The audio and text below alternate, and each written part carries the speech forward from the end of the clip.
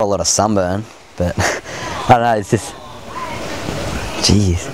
You get some cool friends like those guys over there. But, nah, it's it's good fun. You just get to hang out with your mates. We get to go surf perfect waves. You can't really go wrong. Okay, just get this charge in. if you don't make. You're gonna throw it at me when I'm doing it. I'm, I'm